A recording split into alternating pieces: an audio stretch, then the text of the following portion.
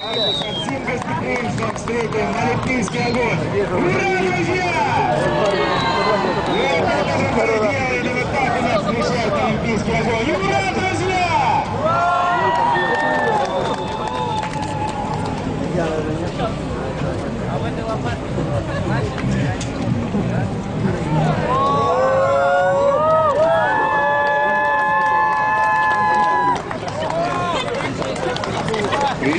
раз в века,